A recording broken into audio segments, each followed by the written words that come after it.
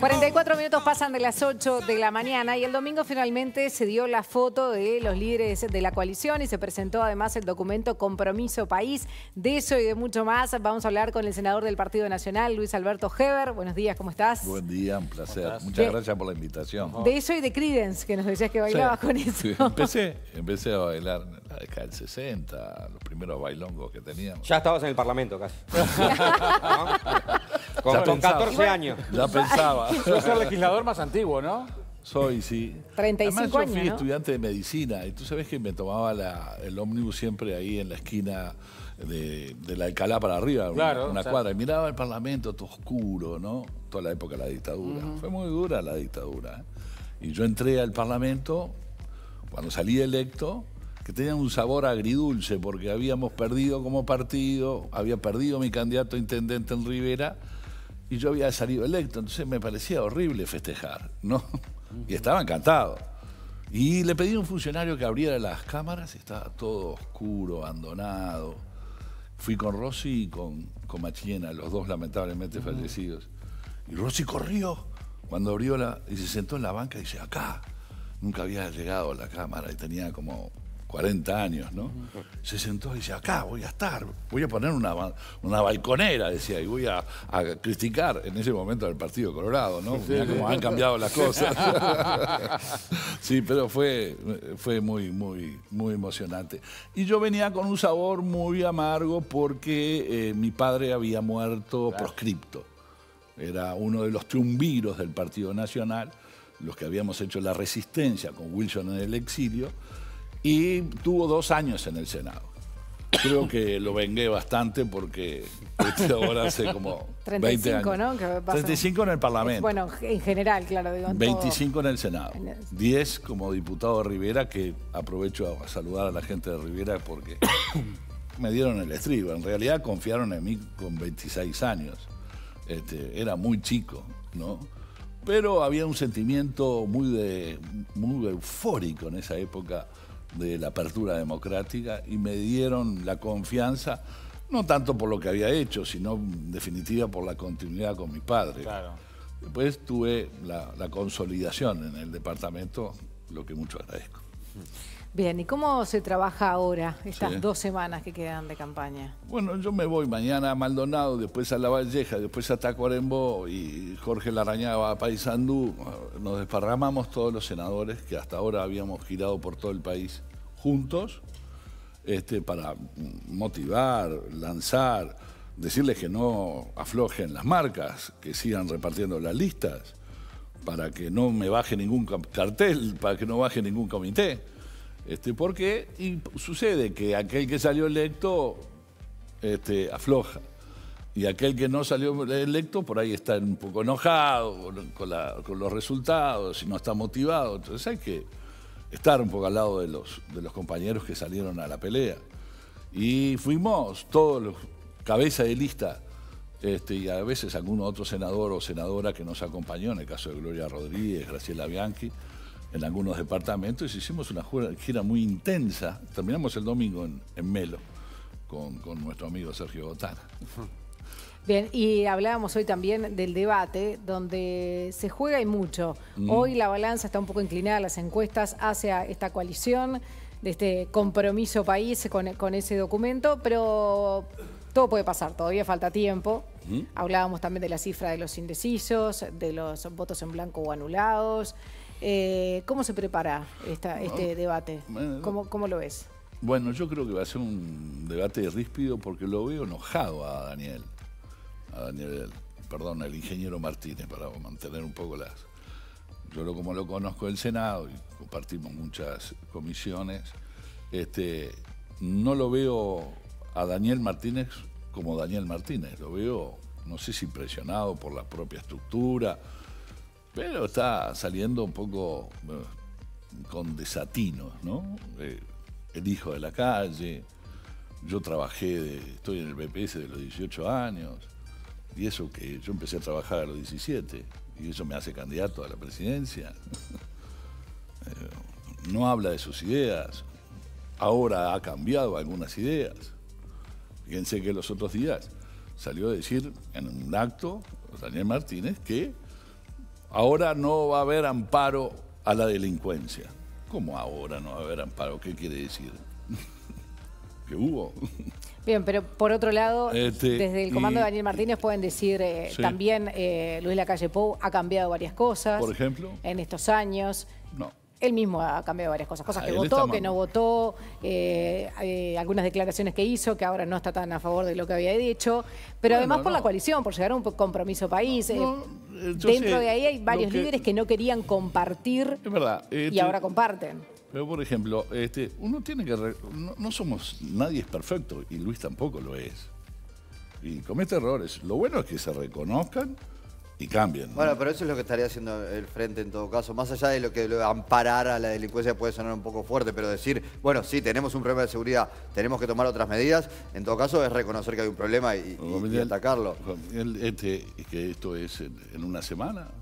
No, no, no, no. Yo qué sé. No, no. Me parece que Danilo Astori. Hemos Ahora, esto es una semana- sí. discutido con Danilo hasta el cansancio en la comisión de presupuesto para, el bajo para bajar el gasto público. Y él sostenía, y además con el tono que lo hace, como profesor y como decano de la facultad, diciendo el gasto es endógeno, no se puede bajar. No se pueden bajar las tarifas, no se pueden bajar los impuestos, no se puede bajar el gasto. Y es bastante frustrante cuando un ministro viene y dice, no puedo, eso no, tenemos que ir por más. El único camino es más impuestos. Y ahora el otro día lo vimos decir, que si está mejor gestionada una empresa pública se pueden bajar tarifas, pero ¿cómo? Y- Hace 15 años que venimos discutiendo Ahora, este eh, tema. en esto de una semana que, que- que mencionabas, eh, en una semana prácticamente se firmó el, el acuerdo, el compromiso por el país. ¿Qué certezas se pueden dar de que es un compromiso firme que va a permitir dar gobernabilidad a lo largo de, de todo el gobierno? Habitualmente las coaliciones no llegan a- hasta el final del periodo y cuando hay más de un partido en una coalición, el primero que se va es el que suele salir ganando y esa tentación va a estar presente.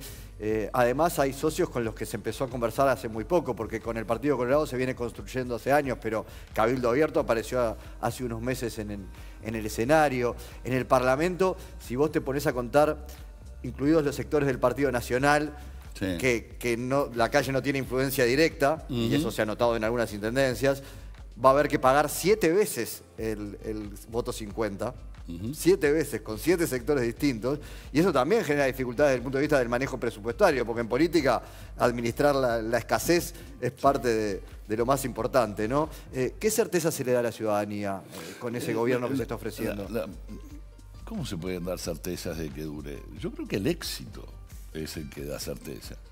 O sea, si nosotros arrancamos primero rápido, ¿no? Por eso la ley de urgencia.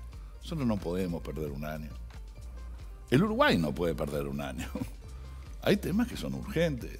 Medidas de- en materia de seguridad son urgentes.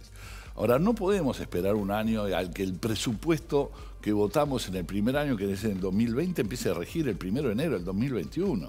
Ahí recién la- Luis, en el caso que sea electo, va a tener su presupuesto.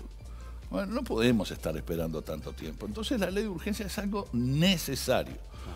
El éxito de las políticas y poder cumplir el plan va a ser la garantía de la mantención y el mantenimiento de la coalición. Claro, pero el éxito eh, eh, en la política económica no va a ser para No, 2020 ni para 2021, ¿no? Y creo que todos lo saben. ¿La ciudadanía lo tiene claro eso? No, no, no sé si la ciudadanía. Bueno, pero es importante. No, no, pero eh, tú estás hablando de qué duración puede tener la Y coalición. bueno, pero ¿qué va a pasar en los Y- primeros dos y años de gobierno y- con la economía, por Yo ejemplo? sé, pero eh, la, la- la gente vota un programa y sus líderes para hacerlo cumplir. Sí. Y si nosotros nos apartamos del programa, naturalmente vamos a tener conflicto. Ajá. Eh, eh, si el programa tiene el éxito, que estoy seguro que va a tener, va a ir fortaleciendo Pero si las se respeta el programa, también va a haber conflicto. Porque el año que viene, cuando se recorten 900 millones de dólares, va a haber conflicto. Y eso va a generar un impacto en la economía que a mediano plazo podrá ser positivo, pero que en el corto plazo habrá que ver cómo se asume. Y esto no solo el Frente Amplio, lo dicen eh, economistas. Yo ayer en la radio entrevisté a Javier Daedo, que estuvo en aquel gobierno del 90, donde Sí. vos ya eras legislador, y ah, dice, yo que estuve ahí, la forma en que quieren hacer el, el- el recorte no les va a alcanzar para el déficit de 5% que tenemos hoy. Bueno, este, yo respeto este, mucho. Y como él opina a Lolema, Gabriel Odone, Pablo Rosselli. No, no, hay varios que no. Este, Lito Alfi. Eh, yo no. nombré los que sí, por eso. Bueno, yo hablo de lo que no. Azucena. Sí. Hay, hay una cantidad de economistas que también entienden que, Que el se gasto público se puede hacer. Y yo creo que además el hecho de que empiece un nuevo cambio, una nueva etapa, genere un entusiasmo que hoy no lo veo en la gente que vengo- vienen con mucha desilusión y no con ganas de emprender. Yo creo que la virtud de cambiar y, y alternar el poder con otra administración diferente. Eso esperaba Macri también, ¿eh? No se le No, y le pasó, pasa que no alcanzó. No, no, no, Macri se demoró en tomar medidas. Bueno, ¿no? este- Este, nosotros no. Pero esperaba una hablando- reacción favorable, ¿no? Este, que fue una reacción favorable que vino a medias, ¿no? Los mercados le prestaron, a- pero las inversiones después no se concretaron. Las Pero inversiones además- genuinas en Argentina no se Pero concretaron. además Macri subió las tarifas. Él pierde porque sube los impuestos. Es con- lo contrario que nosotros estamos diciendo. Si hay algo que no se puede comparar es la solución y lo que implementó Macri con lo que nosotros estamos implementando. Vamos por el camino más difícil, que es controlar la plata. Vamos por el camino, no es fácil y tenemos que tener un buen ¿Puedes equipo. asegurar que se van a bajar las tarifas? Bueno, no, yo lo que puedo asegurar es que no van a crecer, ¿no? Primero. Y si tenemos margen, estoy seguro, porque nosotros creemos realmente que el costo de la energía y el combustible son este, una piedra que le ponemos al aparato productivo nacional que lo hace no competitivo en el mundo. Entonces, hay un factor de inercia, de esperanza, con una nueva administración que invita a la inversión.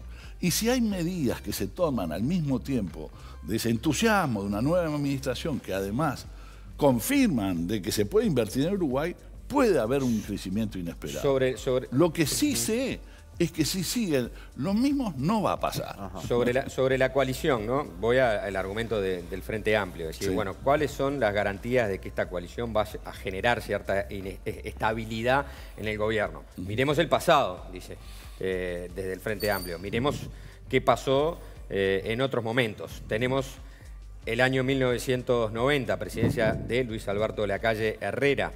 Eh, se genera ¿no? una suerte de eh, coalición donde había el Partido Nacional, donde también estaba Sanguinetti. Y bueno, el resultado de esa. Estaba Valle, estaba Pacheco. Estaba Valle, estaba Pacheco. Es verdad que el Partido Nacional termina apoyándose mucho más en Pacheco. Este, y, y otro tanto en Valle, En Valle. ¿eh? y, y- y muy poco en, en- en Julio María Sanguinetti, que fue el que seguía, rompió ese pacto, esa coalición, a partir de lo que su- sucedió con la ley de empresas públicas, posicionándose en la vereda de enfrente del Partido Nacional. Una definición nada más del ex ministro de Economía Ignacio de Posadas de aquella época. Sanguinetti fue lo más nefasto para esa coalición y para el país. ¿no? O sea, como socio, Posadas lo calificó de nefasto.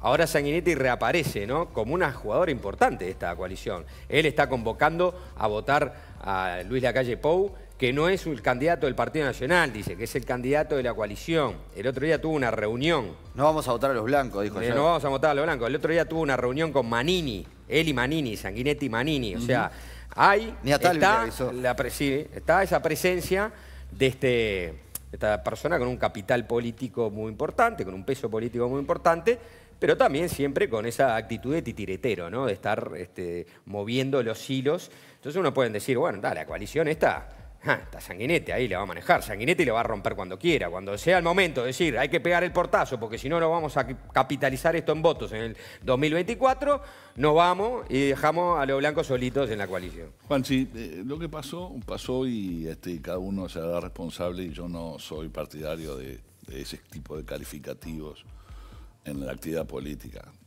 Este, lo que nos importa es el mañana. Tenemos un desafío, sí señor, tenemos un desafío. ¿Calificativo titiretero decís? No, Ah, eh, no, porque lo tengo mañana de Sanguinetti en la radio, si no. Nefasto y... bueno, Ah, bueno, Y- eso fue de Posadas, ¿no? Yo dijo por nefasto. eso no estoy de acuerdo. Este, y no creo que sea ni conveniente ni oportuno generar una discusión de lo que pasó. Cada uno tiene su visión. Y un día hacemos un programa a hacer un análisis de lo que pasó. Pero ahora estamos por lo que viene. Y en lo que viene, nosotros entendemos que Luis tiene muy buena sintonía personal y política con los cuatro personas que subieron los otros días. ¿Cuánta vía le das a esa coalición? Ah, yo le doy mucha Darrañaga vida. no fue tan auspicioso. Yo sí, yo sí, yo le tengo mucha fe. Le tengo mucha fe a Luis, este, que prevé las situaciones antes que Pero nosotros. tenés que tenerle fe a Luis, a Talvi, a Panini, Ah, no. a Mieres, a Pero- Novik, a Sanguinetti, Pero a Larrañaga, a Sartori. Ríos. Sí. Pero el, Creo que no me olvidé de articulador, ninguno. el articulador es el presidente. Sí. Y el presidente es clave en esto. El presidente tiene que ser cercano a la coalición. No puede ser lejano. Yo veo, he tenido varios periodos, como ustedes saben, y ha habido presidentes que han sido mucho más cercanos con el Parlamento y con Sí. los colegados. Por ejemplo, Valle. con- Valle lo fue, la calle sin duda. ¿Por qué? Porque precisaban del Parlamento. Porque nosotros con Vázquez lo vimos muy lejano, muy distante. Salvo cuando nos invitó a la torre ejecutiva para hablar de seguridad. Que ahí, bueno, tuvimos una instancia casi de seis meses de reuniones semanales con él, en donde lo vimos muy seguido. Mujica también, que era un día, dijo, ap- aparecía en, en el Parlamento, dijeron, yo vi luz y entré, aquella frase que, que dijo, pero después no lo vimos cercanos. Teníamos en el Parlamento interlocutores directos. Estaba el tema de las mayorías también, que va a ser distinto. Teníamos contactos directos. Estaba, por ejemplo, con Valle, teníamos a Alejandro Achugarre, que era, ¿querés almorzar con el presidente hoy? Bueno, me gustaría para plantearle dos o tres cosas. Y te hacía un almuerzo con Valle. Ese nivel de diálogo es muy importante y le tengo fe a nuestro candidato. Tiene que ir desde la presidencia al Parlamento y a la inversa también pregunto, ¿esas personas que nombramos tienen que estar en el gabinete? No, no, no, eh, eh, Luis ha dicho que prefiere que las personas que realmente tienen importancia política estén en el Por eso, gabinete. por eso. No sé si lo va a lograr. No es fundamental el tema. Es lo que nos gustaría. Y que el que esté de ministro tenga la última palabra, que no tenga que ir a consultar. Eso nos pasó con la calle Herrera. A ver. Este, porque cuando nosotros hicimos el debate de las empresas públicas en el Consejo de Ministros, el ministro del doctor Sanguinete en aquel momento fue Solari y el ministro de Salud Pública, ustedes recordarán. Y bueno, después no fue respaldado, son cosas del pasado. Pero hemos aprendido de esas cosas, como para que, y bueno, pretendemos que se sientan, eh, estén en el Consejo de Ministros las principales figuras que de alguna manera son responsables. Pretendemos. Otro argumento del Frente Amplio. o sea, Dale. este, nosotros estamos. hay, ¿eh? ¿Eh? Hay pocos. Bueno, estoy- los estoy Sí. usando en. en- Usarlos todos, porque son pocos. No, no, al tiempo, ¿no? No, hay varios, hay varios. Eh, no. Este, el, el Frente Amplio está diciendo, bueno, nosotros estamos mostrando, en definitiva, quiénes van a ser los ministros, tratando ya de dar garantías, ¿no? Mario Vergara fue ministro de Economía, presidente del Banco Central, en un momento donde la eh, región está inestable, bueno, vamos a garantía. Mario Vergara central. Eh, Astori, Astori a Cancillería, una persona que tiene una trayectoria, que tiene un reconocimiento internacional a la Cancillería. Estamos mostrando, en definitiva, quiénes son nuestros ministros. Ellos no, están arreglando entre cuatro paredes. Este, va. Ese es el, el nivel. Nosotros venimos hace tiempo designando tres ministros que Luis ha tomado esa Sí. decisión de carácter Barto, político. Arbeleche y Pablo da Silveira. No es al azar. Digo, se le acusa al Partido Nacional que no tiene políticas sociales. Barto. Y ustedes los han, lo han tenido acá. Este, que no tenemos rumbo en las políticas educativas, que ya el fracaso que ha tenido el Frente Amplio durante los 15 años de tratar de cambiar el ADN de la educación, mm, de alguna manera no se avisora a la posibilidad de poder hacer un cambio en materia educativa. Y tenemos a un Pablo da Silveira que ha participado en EDUI 21 y que tiene mucho contacto y donde tenemos que ¿Y el- hablar y el mucho resto con el de los ministerios? No, no, no creemos que sea necesario porque el tema del Ministerio del Interior, que quizás sea el otro tema tan importante como estos tres juntos, eh, yo veo, y lo que ha transmitido Luis es que él va a estar arriba de ese ministerio. Él va a estar arriba Pero el ministro va a ser de- otro Va partido. a ser quien tenga que ser. Pero el presidente no es una cartera más. No, es el ministerio No, político. por- no, no, no solamente por eso, sino que hay una deuda de seguridad y de, y de trabajo en materia de seguridad, donde tiene que ser el principal tema del presidente todos los días.